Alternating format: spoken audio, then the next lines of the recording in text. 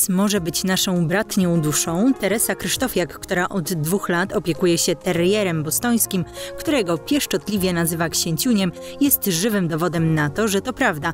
Jest też przykładem człowieka, który do adopcji podszedł bardzo odpowiedzialnie i gruntownie się do niej przygotował.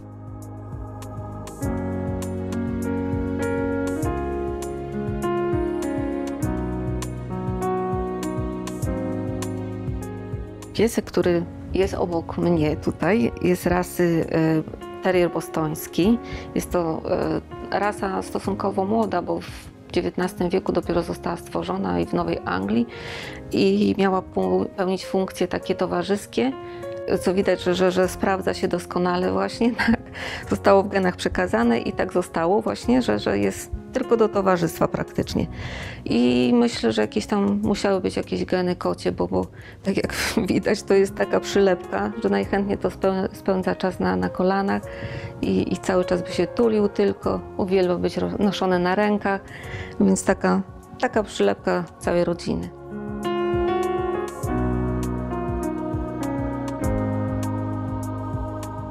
Jest to mój pierwszy pies i ta adopcja, może adopcja, to, to chęć posiadania zwierzaka takiego czworonoga gdzieś tam kiełkowała już od dzieciństwa. Całe życie marzył mi się piesek, e, kiedy chodziłam do moich koleżanek i, i któraś tam miała ratlerka, taką sapcie, pamiętam, słodką. To tak zazdrościłam, że, że, że, że, że ja nie mogę mieć takiego pieska, no bo, no bo wiadomo, to chyba decyzja tych rodziców moich na zasadzie, że w szkole, w, w pracy i, i, i kto by się zajmował tym pieskiem. Jest takie no, decyzja dojrzała, że, że, że jeszcze nie pora. A w momencie, kiedy już tam gdzieś zaczął kiełkować, że ja już jestem na tyle duża, że, że i odpowiedzialna, że mogę mieć tego pieska, to gdzieś tam już zaczęłam chodzić po schroniskach, po wystawach dla psów właśnie, żeby sobie zobaczyć, która rasa pasuje do mnie, bo to była taka dojrzała decyzja, to nie było taki spontan, tylko przemyślane, przygotowywane wszystko. No i wiadomo, w życiu nie ma przypadków, tak? I stało się tak, że gdzieś tam e, był pomysł na Labradora, bo była jakaś tam e, film e, Tylko mnie kocha i bodajże, tak? I potem wszyscy zakochali się w czekoladowym Labradorze. Gdzieś tam był pomysł na, na Jack Russella, przy czym moi znajomi którzy wiedzą, jaki tryb życia prowadzę, no to stwierdzili, że to nie jest rasa dla mnie. I, i tu pojawił się mój piesek Cartier, mój i tylko mój.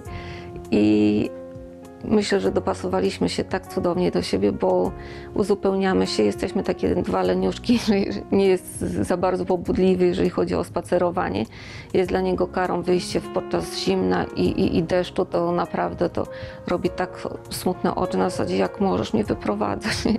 więc jest taki, no taki typowy domator, więc idealny pies, salonowiec.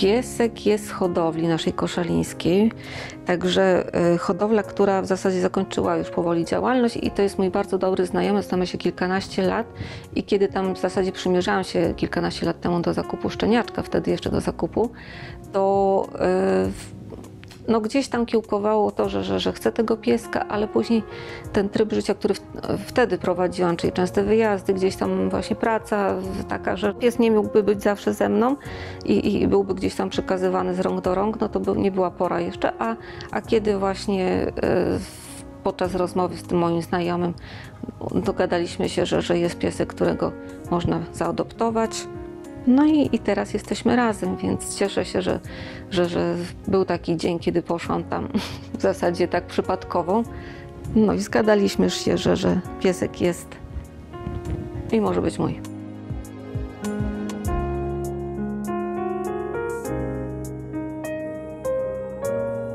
Zabieramy go do pracy, chodzi ze mną do pracy, prezesuje, ale z drugiej strony to też jest troszeczkę, no zrobiłam krzywdę pieskowi, bo zabierając go wszędzie, prawie wszędzie, tak, bo rzeczywiście są instytucje, gdzie nie wolno z psem wchodzić, to wtedy on musi zostać w domu i to jest też traktowane na zasadzie, jak mi to możesz robić. I kiedy wracam, to wszystkie dywany są wytrzepane. Jest tak zdenerwowany, że wszystkie są zrolowane.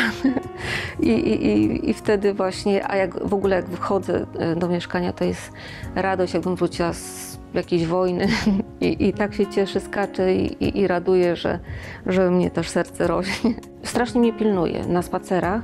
Nie lubię, jak ktoś e, próbuje zagaić, gdzieś zaczepić, to wtedy wychodzi jego, ja mówię czasami dwubiegunowość, tak? bo tutaj z takiego kociaka nagle się robi się lwem i, i zaczyna szczekać i, i, i, potrafi nawet tam czasami, nawet, nie wiem, no, odstraszyć łapiąc gdzieś tam za nogawkę.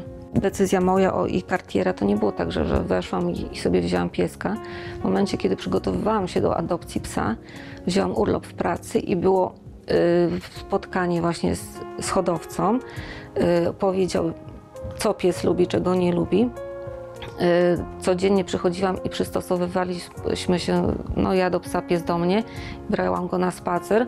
On na ten spacer czekał. Któregoś razu nie mogłam przyjść, to był strasznie zawiedziony, tak mi mój znajomy powiedział.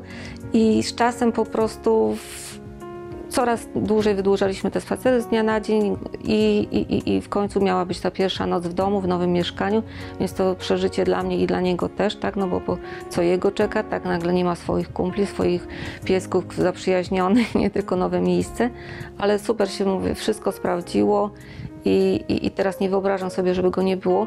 Zresztą ta decyzja o, o adopcji to, to, milion przeczytanych stron w internecie, to, to cały czas y, gorąca linia właśnie z hodowcą, tak? Także wszystko było na bieżąco informowane, że a zrobił to, to dobrze czy źle?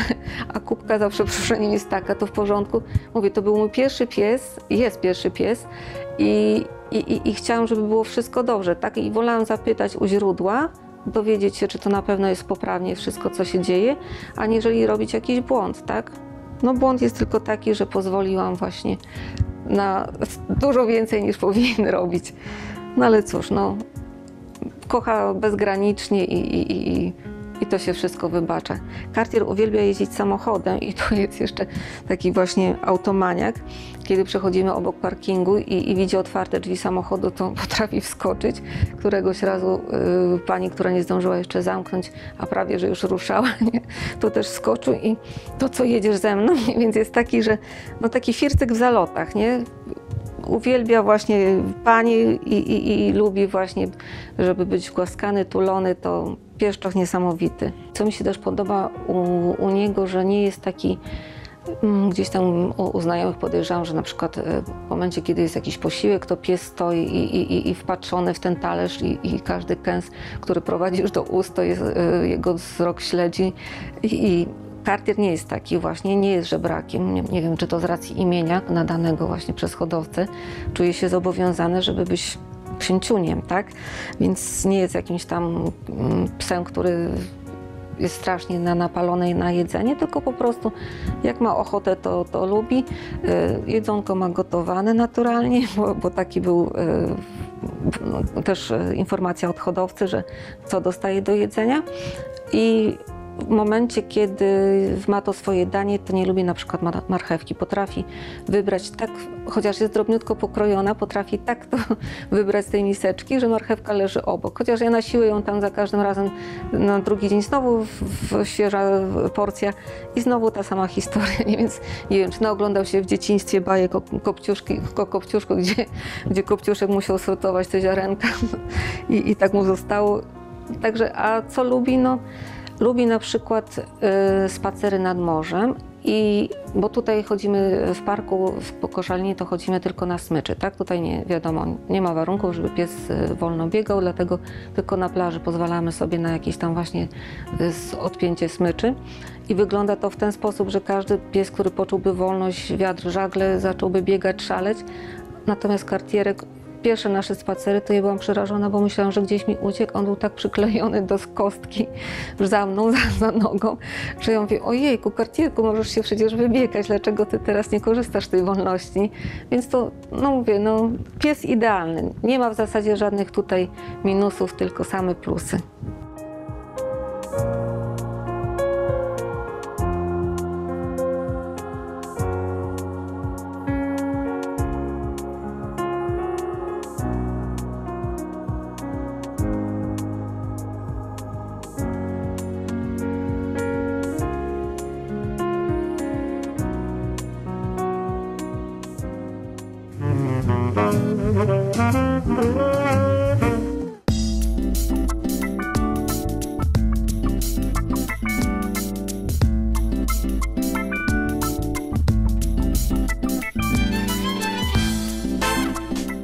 W dzisiejszym odcinku programu Zwierzenia opowiemy Państwu historię psa. E, tak naprawdę to jest też historia o ludzkiej bezmyślności i okrucieństwie wobec zwierząt. W moich rękach jest łańcuch. Ten łańcuch waży być może 5 kg, być może więcej, ale jest naprawdę bardzo, bardzo ciężki. I puszek, o którym zaraz opowie Daria Szmaro, miał ten łańcuch na sobie, kiedy został znaleziony przez ludzi. Czy tak właśnie było, Daria? E, Tak, dokładnie. Dostaliśmy, znaczy dostaliśmy zgłoszenie o psiaku, który zaczepił się o drzewo przy drodze, właśnie w tym łańcuchu będąc. Oczywiście pojechał pan, który zajmuje się odławianiem zwierzaków, przywiózł puszka do nas. Mieliśmy problem w ogóle, żeby to mu zdjąć z szyi przede wszystkim. On miał to na głowie, tak? Na E, szyi. To był jakby zaczep, a tutaj jest końcówka i on to miał oplątane dosłownie wokół głowy, więc w ogóle ciężko było w jakiś sposób to zrobić. Tym bardziej, że jest to psiak początkowo, wydawało nam się, że duży, nie, niewiadomego jakby zachowania. No okazał się, jaki się okazał, dlatego też takie imię dostał, bo puszek taki, naprawdę puszek okruszek w ciele dużego psa, takiego zrezygnowanego już zwierzaka. E, Bo niestety no, możemy tylko przypuszczać, co się działo w jego życiu. Raczej poza łańcuchem niewiele go spotkało.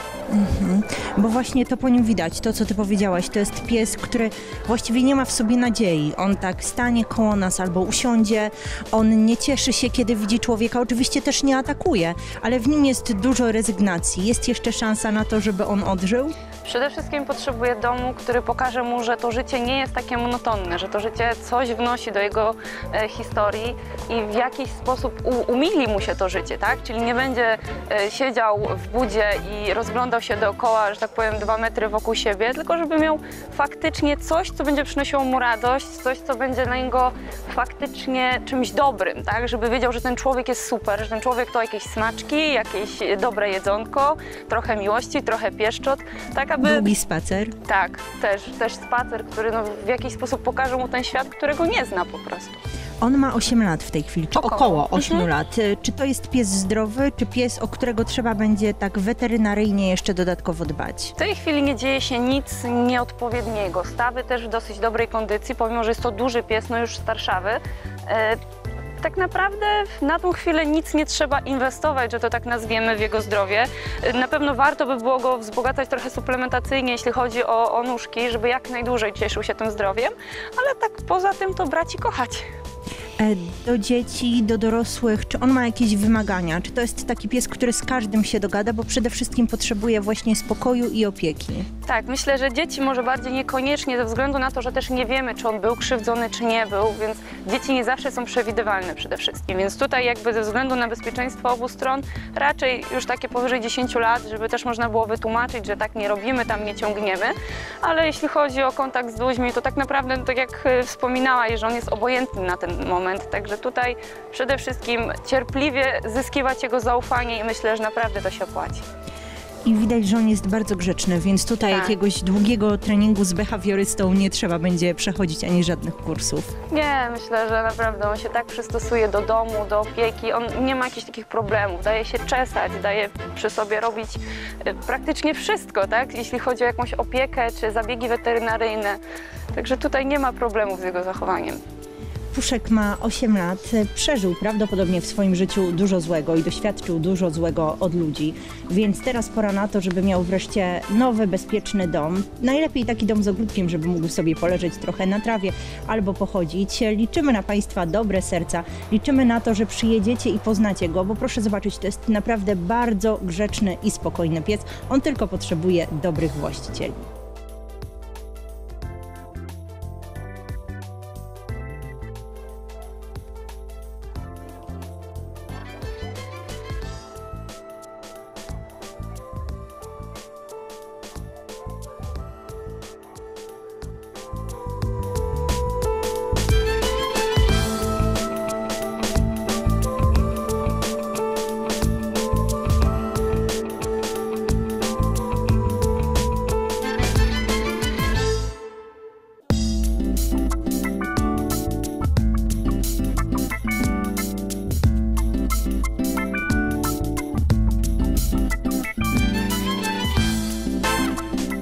Naszą kolejną bohaterką jest e, niespełna roczna Nuka. Niestety nie będziemy mogły o niej za dużo porozmawiać, ponieważ jak sami Państwo się za chwilę przekonacie, to jest niesamowita bomba energetyczna.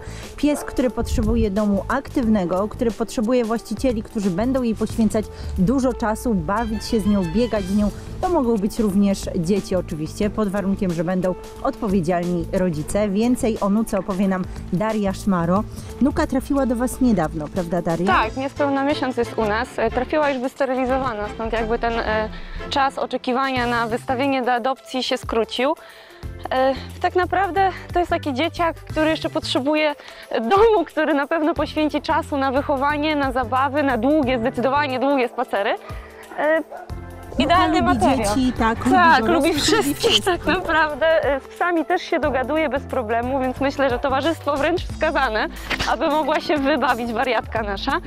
E, Co więcej, Jest zdrowym psem, tak, Tak, jak zupełności. wysterylizowanym, czyli raczej nie do mieszkania, pewnie do domu. E, Myślę, że mieszkanie mogłoby być, o ile byłby to właściciel przede wszystkim aktywny, to co mówiłyśmy. No, parę większych, dłuższych właściwie spacerków i troszeczkę no, te trzy osiądzie. spacery to minimum, prawda? Minimum. To powinny być przynajmniej cztery spacery, naprawdę długie. Tak. I tutaj mówimy o jakichś lasach, czy okolicach parku. Na no, przykład. Nuka zaczęła teraz kopać, więc widać, że ona potrzebuje tych aktywności i tych bodźców naprawdę bardzo, Mhm. bardzo dużo. Przede wszystkim też jakby bieganie to jedno, jakieś zabawy interaktywne, jakieś smaczki, Wychowe. kąki, Mhm. wszelkiego typu zajmujące przede wszystkim e, rzeczy, aby się nie nudziła, no bo jak pies się nudzi, to w tym momencie pojawia się Zaczyna problem. niszczyć na przykład, Na przykład, prawda? I tutaj dokładnie. trzeba uczulić naszych widzów, Mhm. że to musi być dom, który rzeczywiście wiele takich zabaw i bodźców psu zapewni, bo jeżeli tego nie będzie, to Nuka będzie sobie sama znajdować jakieś Dokładnie. zabawy w domu i wtedy może coś zniszczyć, tak, może coś zjeść. Tak, przede wszystkim to musi być osoba, która będzie świadoma tego, że no to nie jest zabawka, która usiądzie w kącie, będzie siedzieć i się nam przyglądać, tylko to jest zwierzak, który potrzebuje właśnie zajęcia, cały czas zajęcia. Chociaż przy regularnych spacerach, przy regularnych zabawach, regularnych aktywnościach, szkoleniu, bo tutaj też To może być też szkolenie, tak, mhm, myślę, że jak najbardziej jakieś podstawy chociażby, żeby troszeczkę ją wyciszyć, troszeczkę wyhamować jej ten temperament, Temperament. tak, dziecięcy nawet można to tak nazwać. E, I zdecydowanie będzie to psiak ideał, bo jest to fajny materiał do pracy, można to nazwać w ten sposób, e, idealnie reaguje na przysmaki, próbuje e, pracować z człowiekiem, dokładnie. Także na pewno, jeżeli ktoś poświęci jej trochę czasu, to będzie zdecydowanie e, zadowolony i będzie miał wspaniałego przyjaciela na wiele lat. Jeżeli macie Państwo czas, i to jest bardzo ważne, musicie mieć czas, musicie mieć siłę, musicie mieć chęci na to, żeby popracować z młodym, bardzo perspektywicznym psem, to Nuka jest psem dla Was. Przynajmniej cztery spacery dziennie, długie, dużo zabaw interaktywnych, dużo ganiania się, ale też dużo nauki. E, zapraszamy Was do schroniska dla bezdomnych zwierząt Leśny Zakątek w Koszalinie.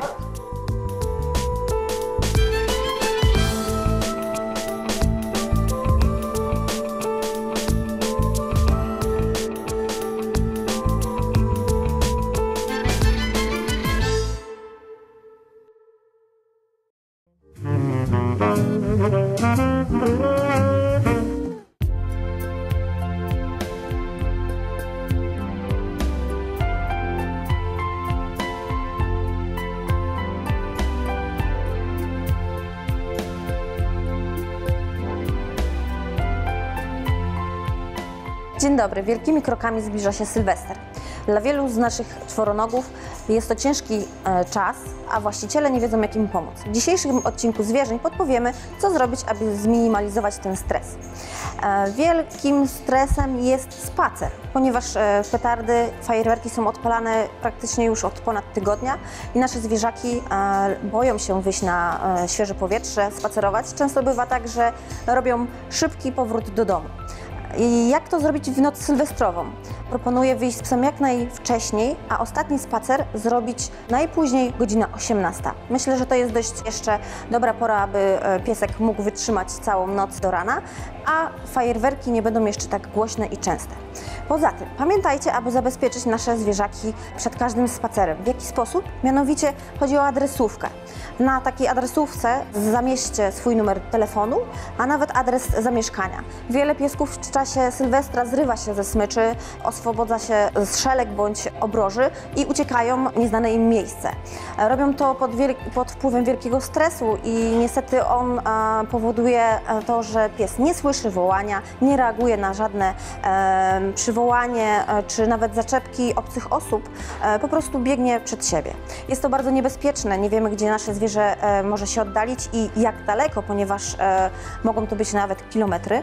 Poza tym niebezpieczeństwo wpadnięcia pod koła samochodu bądź e, nawet e, znalezienie się w miejscu, e, które e, powoduje inne e, zagrożenie dla naszego czworonoga. E, Poza tym e, szelki i obroże e, zacieśnijmy jak najmocniej, tak aby właśnie pies nie mógł się oswobodzić, albo żeby to zmniejszyć to prawdopodobieństwo. Niech e, nasza, nasz czworonóg zawsze będzie zapięty na smyczy i nie chodzi e, samopas e, po osiedlu. Jak pomóc naszemu czworonogowi w domu? Co zrobić, aby czuł się bezpiecznie? Najlepiej jest przyciemnić mieszkanie. Zasłaniamy żaluzje czy zasłony. Ponadto udostępniamy miejsca, które pies lubi. E, jakieś budki, naszą szafę, e, łóżko. Wiele psów się chowa e, pod kanapę, pod stół. Nie zabraniajmy mu tam wchodzić, ponieważ to imituje budę, norę i pies lubi w takie miejsca się chować. Czuje się wtedy bezpieczniej. Ja tutaj mam dzisiaj taką kocią budkę, która pozwala zwierzakom się schować do środka i właśnie schronić przed hałasami i różnymi świetlnymi mm, wystrzałami. Oprócz takiej budki e, może być to klatka kennelowa.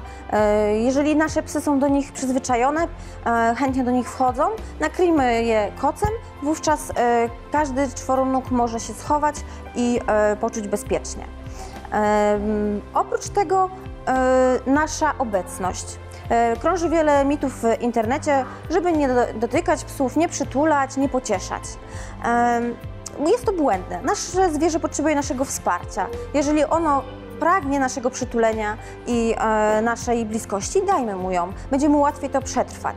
E, jeżeli pies tego nie chce, uszanujmy i pozwólmy mu spędzić e, ten wieczór tam, gdzie sobie wybierze e, najlepsze miejsce dla siebie. Co jeszcze daje takie otulenie, przytulenie i e, to, to bezpieczeństwo? E, bardzo często kamizelka przeciwlękowa, o której już wspominaliśmy.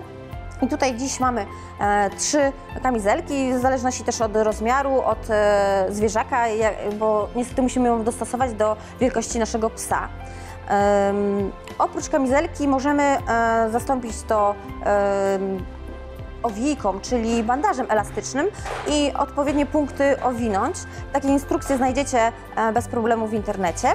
A domowo jak zrobić taką kamizelkę? Mm, Obciąć nogawkę od leginsów, wyciąć dwie dziury na przednie łapy i po prostu przełożyć przez głowę psa.